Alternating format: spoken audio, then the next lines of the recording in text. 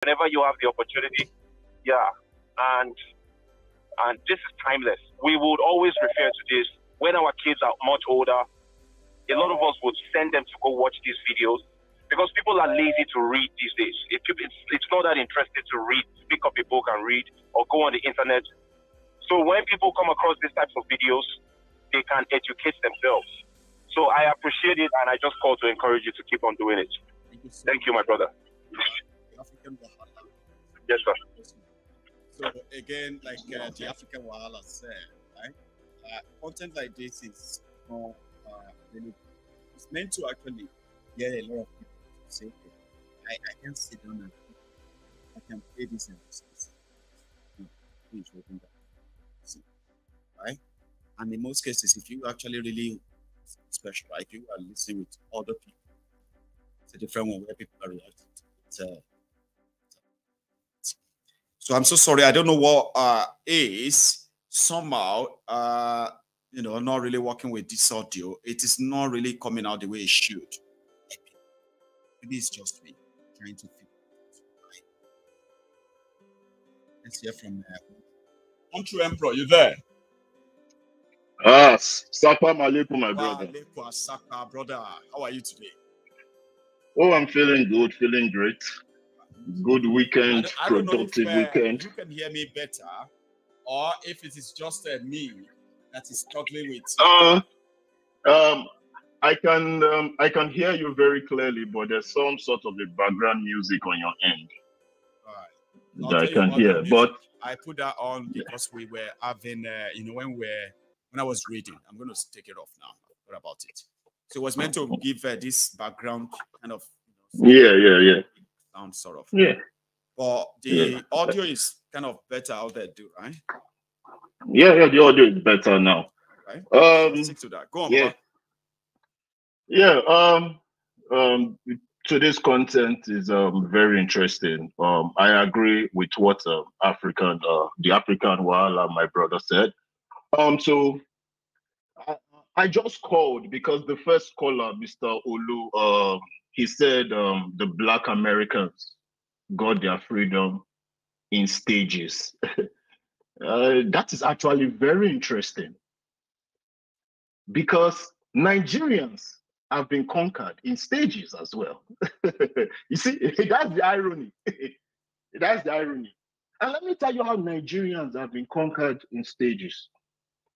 They started with Usman Dan Fodio, number one. Then Lord Lugard, number two. Then Christianity, number three. Then Islam, number four. Politics, number five. And uh, try and uh, what else? Tribal bigotry and financial economic hardship the final stage. Because people in poverty, people who are worried about, I am a Christian, I am a Muslim, people worried, people that are worried about being Euro, I am a Yoruba man, I am an Igbo man, they can never be progressive, Maiyegun. The reasons why the Black Americans have been progressive is because they were not worried about if they were Christians or Muslims. They were not worried about tribal bigotry. They realized that they had one enemy, and that was the slave masters. But don't get it twisted, Maegu. There were some house niggers. The house niggers wanted to keep the field niggers in slaves. You know, you know, you, you know what they say when they talk about being a house nigger. The people that worked for the slave masters. The, the, the Exactly. But if exactly, despite the fact that the black Americans had saboteurs among their midst, they gained freedom because they realized, most of them realized that the slave masters were their enemies. But Nigerians have several slave masters. So how can Nigerians be progressive, Maegu? Religion is their slave master. Their politicians is their slave master. Their tribe is their slave master. Their family is their slave master. So how can Nigerians realize that Exactly. Nigerians are serving too many masters, so how can they gain freedom? Now, um, I think African Wahala said something that that I want to correct. He said that the black Americans don't want to associate with Africa because they're on the losing side. The question is, why should black Americans associate with Africa? All they've known is, is America. That's all they've ever known. When, when the initial slaves came to America, their names was taken away from them. Your name is Toby. No, my name is, I've forgotten the name. What's the name of that movie? I think people need to go and watch that movie. I've forgotten the name. It's a classic slave movie. God, skipped my mind. Yes, yes. That's one famous one too. A lot of slaves had their names and their language beaten away from them. And they kept on giving birth, giving birth. Their generations, their offspring, all they've known is, is America. That is why they fought for their equality, Maegu. So African Wahala is wrong for him saying that they don't want to associate with, with, with Africa. No, there was never a reason for them to associate with Africa. All they've known is America, and they fought for it. So the Nigerians that are even on their own land, they are slaves in their own land, slave, serving different slave masters. Nigerians can't be free. They can only be free by blood, my ego. Do you know why? Because the black Americans were ready to shed blood for their freedom. The question is, are the zombies in Nigeria ready to shed their blood for their freedom? No, they are not. But they are ready to shed their blood for their GOs, for their imams, and for their politicians. My ego, last last they go chop themselves, bro. That is all I. Yeah. That's that that that is all I have to say today. Thank you. Thank you for your time. And again, this content that you're doing, this trust me, you've gotten me very interested in this book. I'm going to look for this book and read it myself because the, the, the first part that you have read is like, damn, I didn't know this. As in the British Empire, as they were conquering Nigeria, they were just conquering other places in succession. Like these guys were moving big. Like it's crazy. Half of this whole Bro, Britain alone was controlling the half. bro, America had to fight like- with them now. You don't know. yeah, I know that. But fight no, no. them, shoot themselves, fire, defeated See, them within see, days. see, see, Omo, see, see, see, my good, see, my good. The thing is that America. see, see, see, see, the thing is that I understand that the British Empire conquered a lot of places. It is how they were moving, the dates, the timeline is just surprising how these guys were really thirsty and greedy for power. It's man, this this man, these white people alone, one year we're going. our, see, our, our, our ancestors no stand any chance. We will not lie to ourselves. Here you go. I swear they They no stand any. They chance no against stand. guys. That They time, no see that time, eh, they say Britain, eh, Britain was like hot, hot, hot, hot cake. Here you get. Ah, Serious hot take. thugs. If you go anywhere, go to Rekavok, claim the place for them. Omo Rome, Rome, they learn lesson. So our Uh-uh. ancestors no really, really stand chance. Omo Egba negotiated uh, independence. We Lugard collected them back. How come nobody told us that one? That that is um, Eh? um, um, that one was another interesting situation. We say Lugard collect collect independence back. Good. oh, I'm going, to get this book and read it. You know, no say there was actually a country called Egba United Kingdom. But today, now, Egba oh. Egba people. They- they- they they- say, they've "You don't forgotten about that. independence of Yoruba nation. Say, "Kí ló you are once an independent, independent nation that they had to fight war, Baba. Eh? Lugard gba independence wọn lọ́wọ́ wọn, bàbá wọn dà sí war, ó di war. But ọmọ they Lugard yà rẹ gan o. Eh? ọmọ Lugard na under madman. Ọmọ mi to- guy rot in hell o. ọmọ mi Lugard keep on rotting in hell abeg. Padà kó rot bàjẹ́ bàjẹ́ máa mi. Eh, Ah, ọmọ Thank you. ọmọ Maigun have a good day Jerry. I will see you in the evening. Okay. So that's one thing about uh, history. So it will humble you. Uh, you're going to learn and unlearn.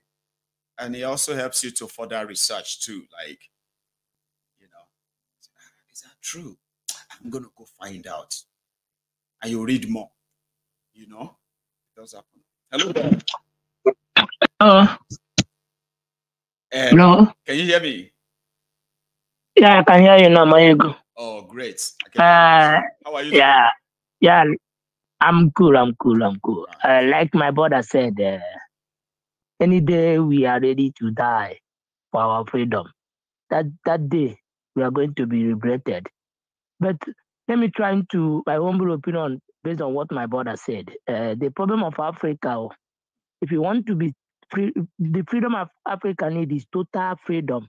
Like I said before when I called you like last week, total freedom in the essence of both religion and colonization. Because you cannot talk about me and you that uh, amalgamated together in 1914 then we want to separate we want to go our separate ways as we used to be before the lord Lugard came which is a british uh, whatever. Now we need to as well because this is the same britain that brought that religion to us bring uh, christian to the bring Christianity to the east, then mix it in the west, Christian and the Muslim, then come to the north to bring Muslim. So we can be able to be able, they know this fight must be among us. That's why they they bring different religions between us. And nobody wants it because before Africa can be able, because I'm when I'm talking about Nigeria, I'm talking about Africa as well. Before Africa can be able to move forward, we need to go back the way we used to be before these people, so-called white people, come. We do things our own. And they, before the British come, I know, I believe in a history, if you would trace it, that Igbos used to do business in the north and do business in the west as well, go back to their east Mhm. and do their, yeah, do their own thing. They still do that trading before British came that brought us together, people with a different ideology and different culture. So you're not going to work. That religion is part of the problem. You know, that religion is one of the problem. But if you talk it, the, leader, the religious leader don't want you to know because they have seen it as a business opportunity to make you the same people that government are frustrated. That is the thing that upsetting me. The the government are frustrating the citizen. The so-called religious leader, both Muslims, because when you talk about religious leader, people will talk, you're talking about Christianity. No, we're talking about even the Muslim, because even the Muslim, both of them are worse. If you, you read the history, you know, you know, sometimes uh, the Muslim people don't need, don't want to talk about what Arab do to the Africa. Yes, because even the what the because now America is better in the West. That is, they have uh, African America, but they don't have African Arab because they kill our people, they destroy our people. But to, our people don't want if you when you're talking about the West, they're happy when you talk about Christian, but they don't want to hear when you talk about Muslim. The Northerners are not Muslim. They became Muslim today because they are forced to do. That's the way they live their life and do their own thing in their own the way their forefathers used to live their life. So the better we realize all those things and the uh, all those bloggers, whatever they call themselves, that fighting for irrelevant things on social media. But the same person that's fighting for maybe he monetize his Facebook, he have the privilege to be on social media, monetize the social media, getting money. You don't want to look after the basic things normal human being need to live. That's why one of our brother Give easy money and then uh, Yes. traffic. You know, make the make uh, here. The That's one of difference our is brothers that, say. uh, we, Oh. are here, right, dealing with real life issue. My platform is also monetized, no doubt. Okay. No, like no, no, said. no, no, no. No, I mean, I'm only I just trying to understand your- something that uh, you know. This is Yes. supposed to be a thankless job anyway. Like it's a thankless thing. Yes, If yeah, we have to be honest. yeah. Yo, Anybody doing this Yeah, yeah. to be praised or something, then you are doing wrong thing. You are not in the right place. I get yeah, my get your gu- message. my I get your yeah. You you monetize. I you mon- I know you monetize your your your Facebook, but you monetizing your Facebook, but you educating our people.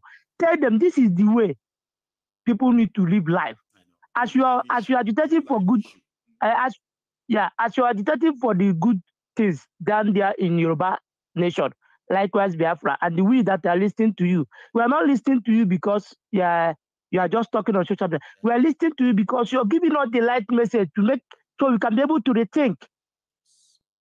I never see you for one day trying. I never see you on social media trying to follow them and put uh, try to drive people on irrelevant things. No, But, you try to tell the citizens, no guys, this is the best way to live. As you there in Britain, as you there in Scotland now, you are well comfortable. But you still remember as an African man, because an individual African man, no, he still have that polygamy. You have family there in Ogun State, need to be taken care of. So if I know you cannot do that, yeah, you cannot do that work by your own, even if you're making billions. No, it, it is- the responsibility of the And government to give your people. them Yeah, the entire place is yes. safe. You get that? So yes, that's it is. of us have It is the responsibility. to see and raise awareness. You are so right, Baba. Continue. Yes, yes, and it is the responsibility of the government to give your poor woman or your poor sister, your the poor man in the Ogun State, to make him have a good basic amenities like hospital, good road, good good uh, electricity, water supply. Okay, let me just uh, uh, conclude on this matter now. After Jakande tried to build houses in Lagos State, uh, he built many houses under four years. Since that Jakande do that, after that Jakande, I think 1970, 1979 to 85, I'm sorry, 80, 85, 84. Yes. Now nobody, no government, even southeast or southwest, have able, have able to try. Since 1999, Nigeria government never tried to build a house for a common people. They never tried. Yes. Now I know the, during the time of uh, regional government, I know some people that do. I know some of my uncles that do civil servant. They can be able to build four rooms and parlor because when they are civil servants, they have quarters. Government will be if you post you to work in Ogun State, or maybe from East to work in Ogun State, you have quarters where you live. They can be able to save money from your work. But now government is not. They are not even looking after you. And they're trying to tell our people, let us stand up and fight these people. Don't think because you have a privilege to get money from social media, you don't even if you get that million on social media and there is insecurity, you will still suffer. But the person that who did not have money, will, it will be even better that because the the kidnapper will not look for a person who don't have money. They will look they will looking for the person who have money. So he, cannot have life to enjoy that money you make on social media as well. That's why we are crying out. As, as I say now, if I come down to Nigeria, if I come down to Nigeria and I can be, I cannot be able to travel to my village because of insecurity. Because what will happen is So what is the anything enjoy? happen to So people will just be like, uh, eh, I, why why did you have to put yourself through that? You want to pretend that you don't know what is going on. So people have to be careful so my with all your money, with all your everything, even with security, you still have to be very careful. Or when you are not in Nigeria, you can live your life almost like carefree. Eh? This will not be your own country, or you do So- okay there. When you go to your own place, you have to be careful. How, how can people live like that? My man, I know I know Nigeria is about to whether we like it or not, it's about to collapse, and uh, people need to stand up because anybody that talking about one Nigeria, the person is deceiving himself. We cannot work. Me and the, let me just be honest. I know we are all humans, but me and the Hausa man don't have the same ideology. Me and the Yoruba man, the Yoruba man has You see what I tell people, right? Is this: if I, if you say to me and say, "See, my brother, me and the Yorubas, right? We don't have a, anything in common, so we want to be like that." There's nothing wrong in that. People shouldn't see that as a wrong thing. All right, not having a lot in common Ah. simply means, right? It means simply means the I respect you. I respect you. Okay, Yes. I just want to be on my own, and the and anything we can do together, and even if let's we- do that together on a mutual arrangement. What is wrong with that? yes under under okay is it not is it not niger burkina faso they say they are no longer interested in west africa. Eh, they are no longer interested in ecowas. So does not make the they still me and you can have yes me and you now maybe oduduwa and biafra can have that uh, economic value that say we can do this thing as a different nation. It is called mutual you understand it. bilateral, bilateral agreement. If we say, okay, uh, So- the Igbos and the Yorubas or the Biafrans and the Oduduwans, are, like you said, right? They are independent, autonomous uh, countries of their own, okay? Anything where we want to do together will be called bilateral agreement. It's called based on an agreement, mutual agreement, okay? Something out of respect. Not these ones that all of us don't even know. No, my, my brother, I know I, I need to. I know it's not easy for you, but we are learning. For you know, this period now. If I didn't see you online, I can I say ah, what is going on? Because I I, I love to hearing your message on daily basis.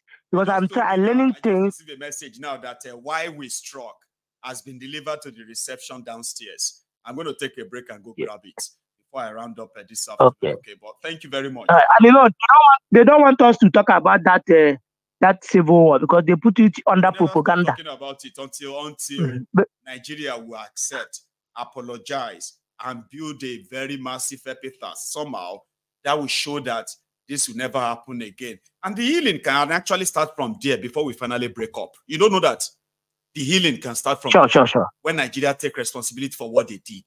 All right. And they mount a monument that represents that dark era, dark time in the history of Nigeria, and make sure that say this will never happen again. Then we can now start discussing whether we still want to be together or not. But they don't want to take responsibility, whether dead or alive. We will never stop to talk Mm. about it.